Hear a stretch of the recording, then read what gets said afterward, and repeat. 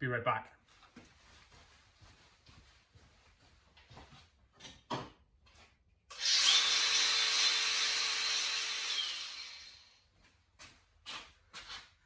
Finally, my hair gone. On a serious note, do not use a grinder to cut your hair. You're gonna have a bad time. Anyway, let's finish the fuel tank, get it in the car, all welded up, plumbed in, wired up, start the car. Hopefully.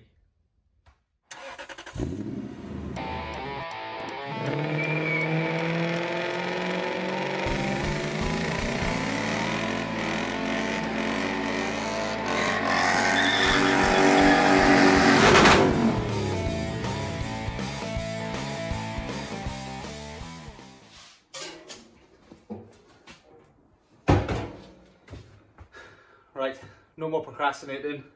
I think I'm going to weld it all up and pressure test it. I can't think of anything else I need.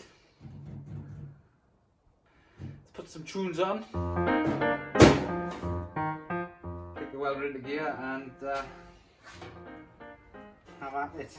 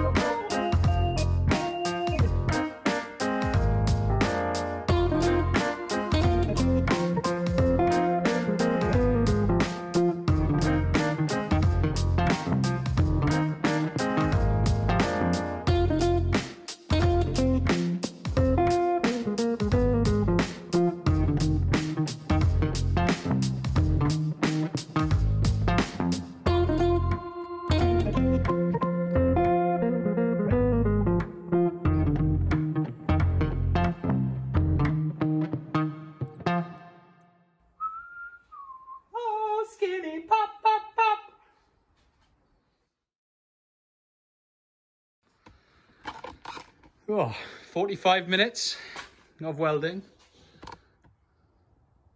Not too bad for an amateur. Need to get my transitions a bit better. And uh, when I go over the tack welds, maybe I need a tack weld a bit better. That'd be a good idea. Uh, haven't done the back panel yet. I'm still afraid to do that because that means it's actually like on. Um, but both sides are done. Gonna do this top piece. All the bottoms done. And then just the back panel.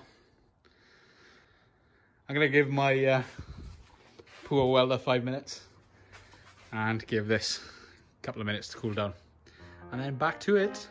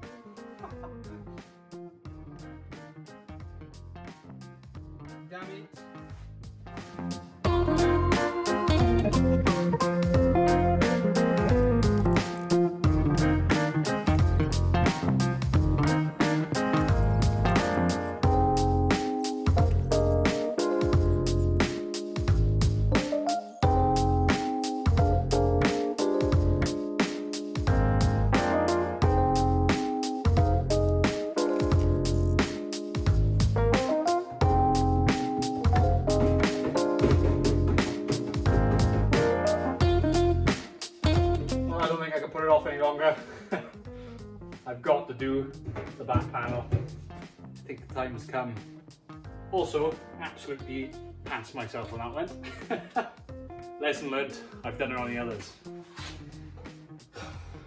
Right, last bit, and then it's time to pressure test it. Right, this is as janky as I could do it. I have a tyre, I have dropped it down to roughly 7 psi. I've got a piece of an old um, uh, brake bleeder kit that I've cut up and I've taped onto here and now I'm spraying juice all over it. So far, it's only these things that have uh, that have shown up. So I need to uh, need to redo these, I think. But so far, the seams are looking good.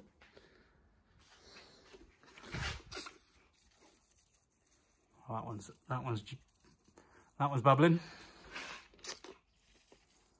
So is that one.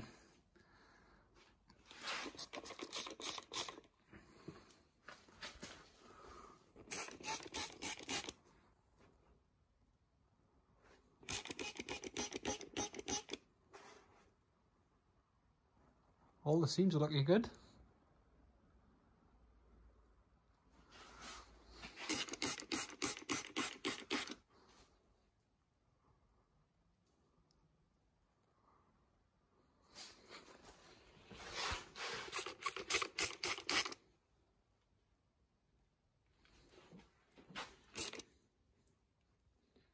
That's still going, so I know I've still got air in it.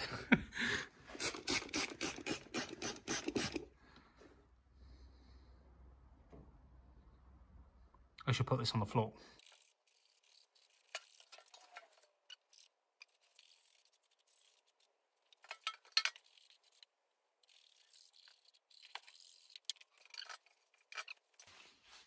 You couldn't even see that. that one and that one. So far, the rest is looking good though.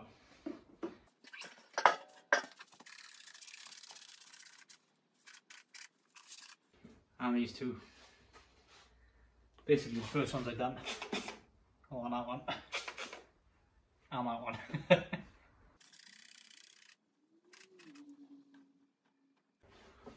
I'm pleased with that.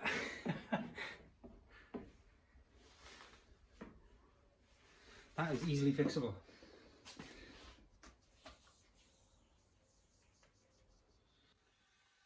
There it is, pressurizing. Don't worry, there's only like nothing PSI in this. I think I put about eight in here. It's only about that much. so it's fine. And I've got my, uh, the only issue I had really was these things. And around here. Still a tiny little uh, pinhole right there.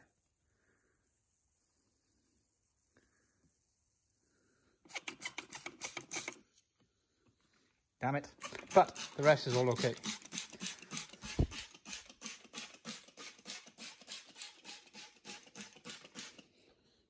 No bubbles.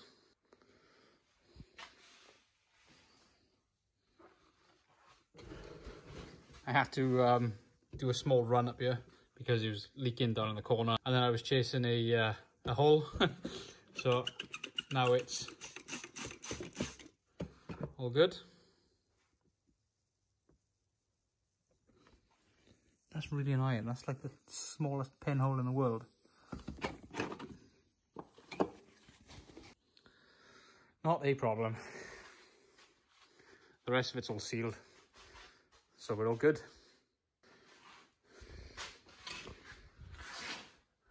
That's the fuel tank snorted.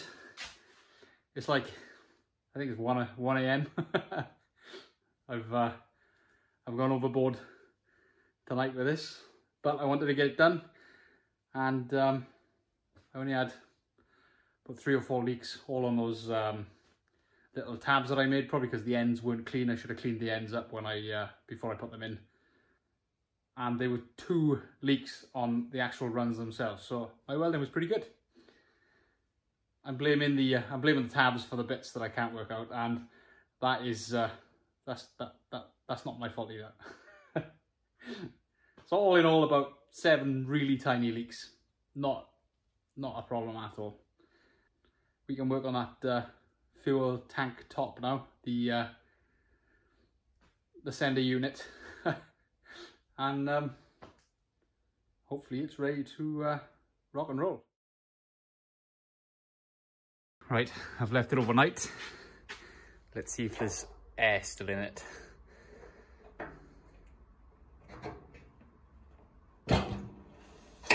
Oh, hell yeah.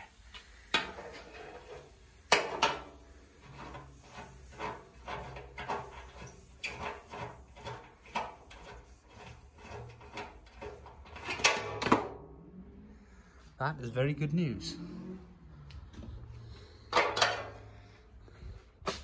Now we need to clean because it's minging. There's the fuel pump assembly done. Drilled two holes, one for the plug, one for the feed. Wired the plug up to my four cables. Wired the feed up to my pipe. Oh, and just tied it all neatly together. Now I'm going to put my rubber gasket, whatever it is, my rubber gasket, and now it can go in.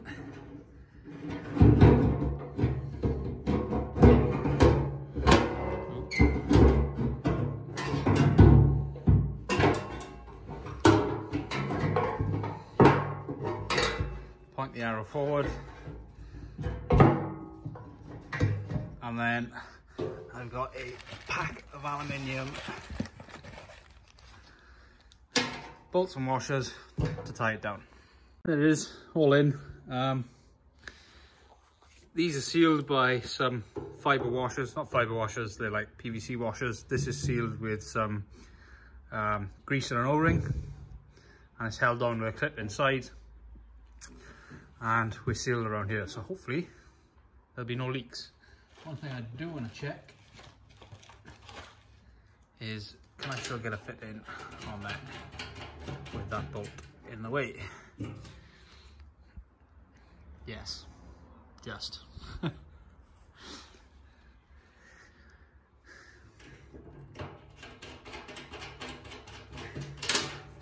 anyway, this would be ready to go, but I made a mistake. The hole for the uh, filler was too close to the vent. So I blocked the vent up and I'm gonna drill it a bit further away. And uh, I'm waiting on another pipe the right size to, to fit it. And I'll weld it in. Shouldn't take too long. It's, it's really quite quick and easy to do. So drill it, get the hoover in and hoover all the stuff out. And then I've got my vent as well as my fill. I've got my feed, I've got my pump supply and the return on the back. And there it is in the car. So we've got the fuel feed, comes out down on there. I'm gonna have to find some P-clips or something to um, tie that up and under the car. And down here, I to cut this out because I haven't quite got enough room. I'm waiting for a fit in for this so it can go off to the big pipe that's down there somewhere. That big pipe. I've also changed the fuel filter. It's it's it's there somewhere. In the dark. There it is. So I've changed the fuel filter so that's nice and clean. I got my feed and return going into it. The return is waiting to fit in. The feed is waiting for a P-clip. Um, then we've got to look at the filler and the breather. So if I get the standard focus one, right here. So that sits in the hall, like that, or sort of like that. Like that. Notice there's a, there's a hole down the bottom there and it lines up with a hole in the rubber mount there. And that will line up with the filler there. Uh, they're going to do a little crossover and I've got to weld them up. But I'm going to use the standard focus rubber filler, cut it to the size I need. I'm going to put the non-return valve in the end here when I get one and just feed that over to this one right here. And then we've got a standard filler. So that's everything apart from the wiring. Now what I'm going to do with the wiring, I think, is if you remember a couple of episodes ago, I bypassed the what is normally a fuel module unit in that little hole there. Uh, but I think I'm going to cut it there and put a plug on it and then have a separate loom that goes through the hole there under the car follows the fuel feed line down here and then up into my plug. Well it's going in now. Too late if there are any leaks now. Uh, i'm not doing that yet because i want to i want to test it all make sure it's okay. So i've just plugged two leads in to the two leads over there to the two cables over there that I need to plug my new battery in. And let's go turn it over see if it works. Oh the pump's working. Hopefully we don't have many leaks. All looks okay so far a bit whiny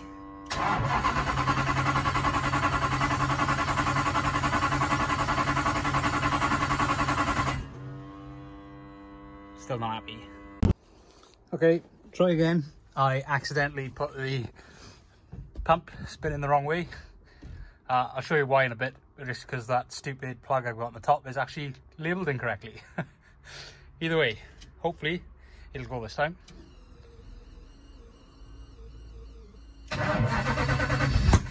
Oof.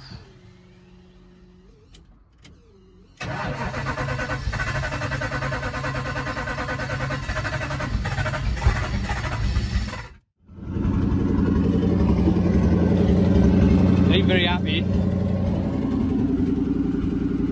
I actually think it's getting too much fuel.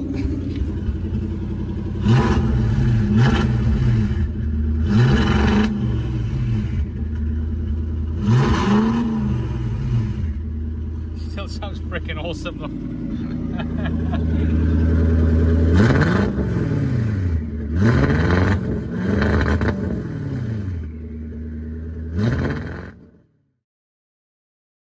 Right, before we carry on, uh, notice how the pump sounded different in each clip.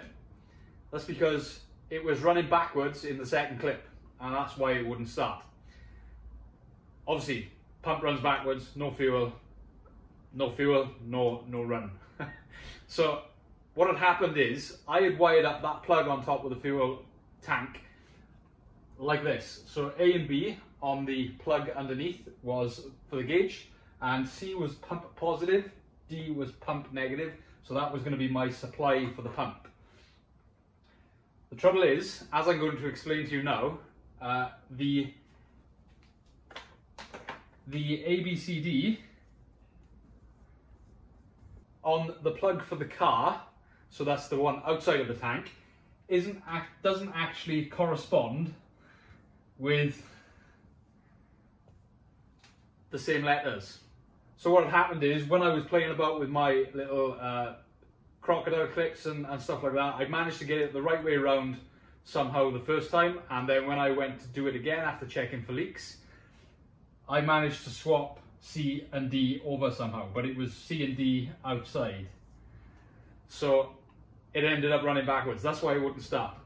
So the moral of the story is always check that your plugs, the inside plugs, and the outside plugs actually wire up correctly. Otherwise, you might end up running your fuel pump backwards and causing untold damage. Anyway, here's the bit of the video that shows me actually working that out. so the issue that I had uh, wiring it up was, I don't know if you can make these out, A, B, C and D. So they correspond, oh I just noticed that look, in the dirt.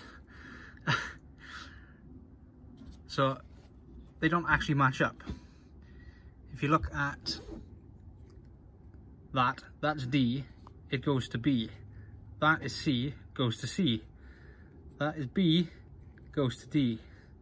A must also go to A, but I can't work that out. Looks like E. So that's how I messed it up. And I think the reason it's running not very well is because I was using these little clips. They were getting hot and I don't think it was getting the current it needed. So I'm gonna make the wiring loom now from thicker cable and uh, try again. Right, there's my new loom running over there somewhere. It's only taped together a minute because it's going to go under the car and like I said earlier, um, but I'm going to test it now to make sure everything is okay.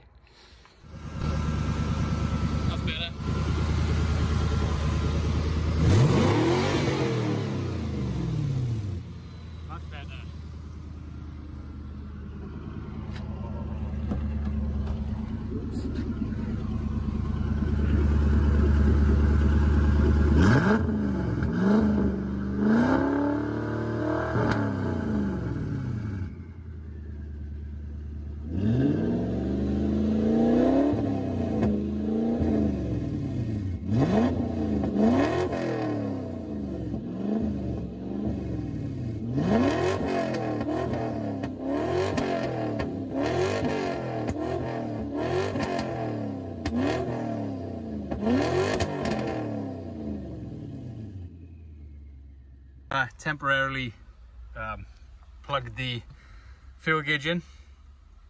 So hopefully now with some ignition, it'll do a little dance and then come up to about, probably about quarter full, hopefully. And nothing works. Please hold. Try again. I uh, left them open like that. so I closed them up a bit. Let's, uh, let's, let's, let's try it again. them now to the right side so hopefully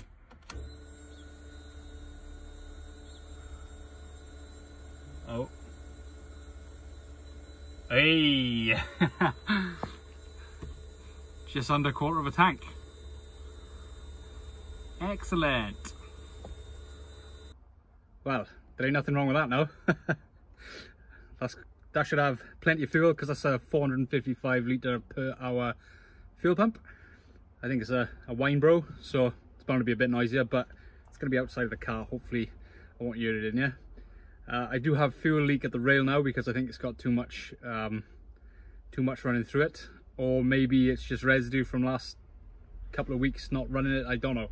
I don't know. We're to have to look into it. I don't think it's a major problem anyway um, because they are new seals. So maybe they just need a bit more um, lubricant on them, a bit more silicone I don't know. We'll, we'll come to that another time when I'm bothered about fixing it. For now, the, uh, the fuel tank seems to be a success. I'll plumb it all in properly, as in put all the um, uh, clips and the sheath in over the cables and, and all that and route the cable in properly when I pull the back end off to do all the welding. That is up next, I think. But that sounds good. I like the noise it makes. Righto, that's it for today. Uh, bit of a success, I think. Fuel tank has worked out quite well.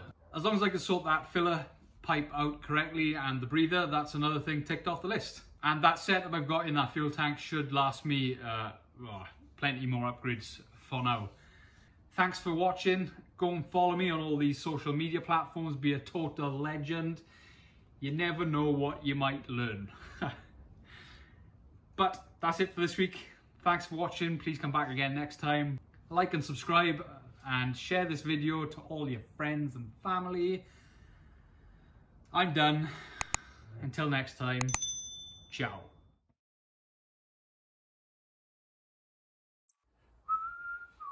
Oh, skinny pop pop.